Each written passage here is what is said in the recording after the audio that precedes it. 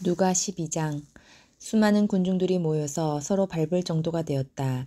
그분께서 그의 제자들에게 먼저 말씀하셨다. 바리새인들의 외식 곧 효모에서부터 자신들을 잘 지켜라. 그러나 숨겨진 것이 드러나지지 않을 것이 없고 또 숨긴 것이 알려지지 않는 것이 없을 것이다. 이러함으로 어두움 속에서 너희가 말한 모든 것이 빛 가운데 들려질 것이며 또 내가 방들에서 너희가 말한 것이 집 옥상에서 선포되어질 것이다. 또 내가 너희 내 친구들에게 말하니 너희는 몸을 죽이는 자들에서부터 두려워하지 말 것이니 이것들 외에는 그들이 더 이상 어떤 것도 행할 수도 없기 때문이다. 그러나 내가 너희에게 경고하니 너희가 그를 두려워해야 할 것이니 너희를 죽인 후에 지옥으로 던지도록 권한을 가지고 있는 자를 너희는 두려워하여라.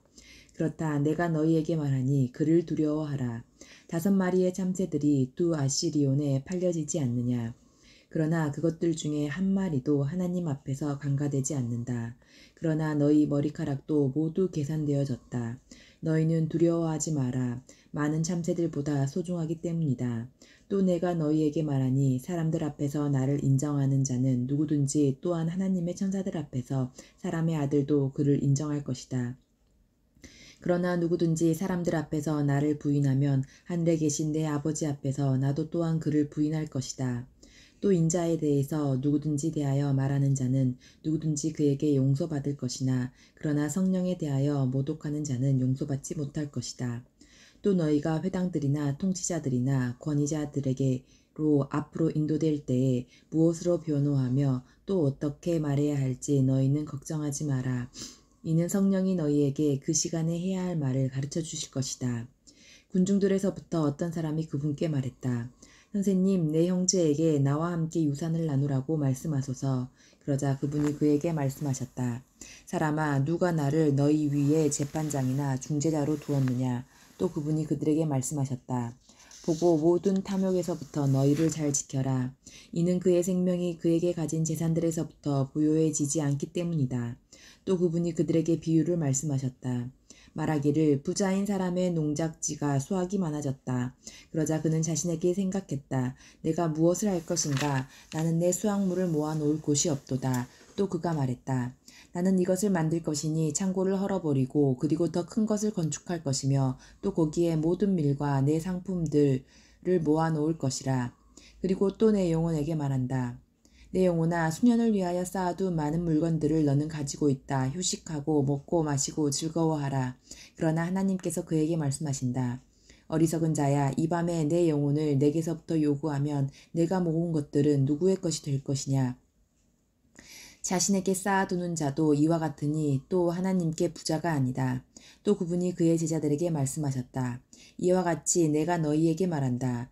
너희 생명에 대해서 염려하지 마라. 너희가 무엇을 먹을까, 너희 몸에 대하여도 무엇을 입을까 하지 마라. 이는 생명이 음식보다 그리고 몸이 옷보다 더 중요한 까닭이다. 까마귀를 관찰해 보아라. 그것들은 씨 뿌리지도 않고 추수하지도 않고 방이나 창고도 없으나 하나님께서 그것들에게 공급하신다. 너희는 얼마나 새들보다 더 소중하냐. 그러나 너희에서부터 누가 염려하여 그의 수명에서 한 규빗을 더할 수 있겠느냐. 그러므로 내가 가장 작은 것도 하지 못하면서 어떻게 남은 것들에 대해서 너는 염려하느냐.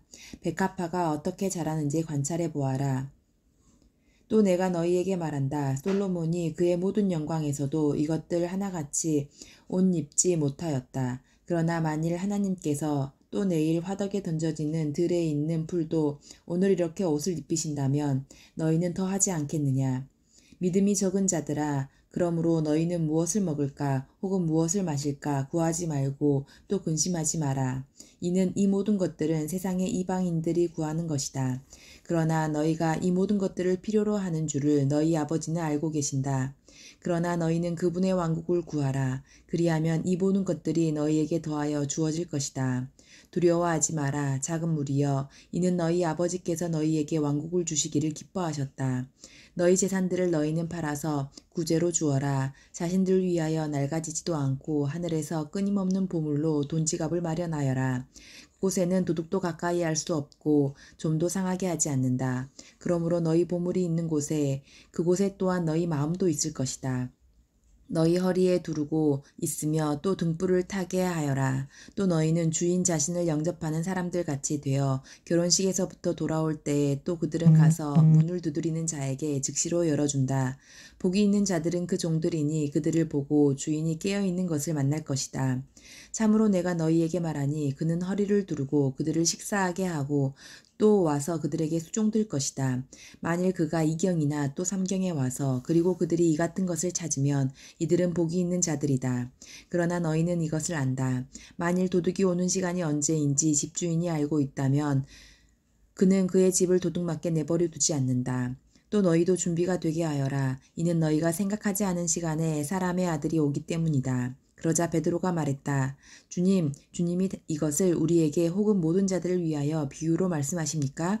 그러자 주님이 말씀하셨다. 그러면 그의 주인에게 누가 신실하며 지혜로운 종으로 그의 종들을 관리하며 또 때를 따라 그들의 음식을 주겠는가? 그의 주인이 와서 찾을 때 또한 이렇게 행하는 그 종은 복이 있다. 참으로 내가 너희에게 말하니 그가 모든 소유를 그에게 위임할 것이다.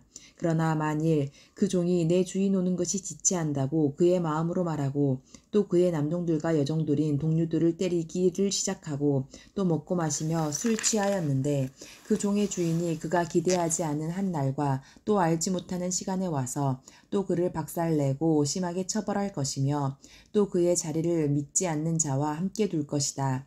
주인의 뜻을 알았던 그 종이 또한 준비하지 않고 그의 뜻을 위하여 행하지 않았으면 많이 맞을 것이다. 그러나 알지 못하고 맞기에 합당하게 행한 자는 적게 맞을 것이며 그러나 많이 주어진 모든 자들에게는 그에게서부터 많이 요구되어지며 많이 주어진 자에게 그에게는 더 많이 요구될 것이다. 나는 땅에 불을 던지려고 왔으니 만일 이미 불이 붙었으면 내가 무엇을 원하겠는가? 또 나는 내가 받을 세례가 있으니 또 얼마나 그것이 이루어지기까지 내가 고통스럽겠느냐? 너희는 내가 이 땅 위에 평안을 주려고 왔다고 너희는 생각하지 마라. 아니다. 내가 너희에게 말하니 분열이다. 이는 지금부터 한 집이 다섯으로 나누어져서 세 사람이 두 사람에 두 사람은 세 사람에 대항한다. 그들이 나누어질 것이니 아버지는 아들에게 또 아들은 아버지에게 어머니는 딸에게 그리고 딸은 어머니에게 시어머니는 그 여자의 며느리에게 며느리는 그 시어머니에게 나누어진다. 또 그는 군중들에게 말씀하셨다. 너희가 구름이 서쪽에서 떠오르는 것을 볼 때에 빅폭풍이 온다고 즉시로 너희는 말하니 또 그렇게 되어진다. 또 너희가 남풍이 불 때에 너희는 말하기를 볼 때에 너희는 뜨거운 열기가 있을 것이다 고 말할 것이며 또 그렇게 되어진다. 외식하는 자여 너희가 땅과 하늘의 모양은 분별하지만 그러나 이 시대는 어떻게 너희가 분별하지 못하느냐? 그러나 어떻게 너희가 너희들에 대해서는 바르게 판단하지 않았느냐?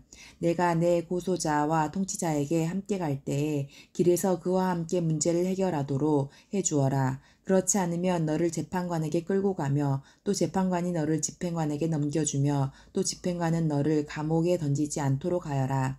내가 너에게 말하니 너희가 마지막 동전을 지불하기 전까지는 결코 거기서부터 나오지 못할 것이다.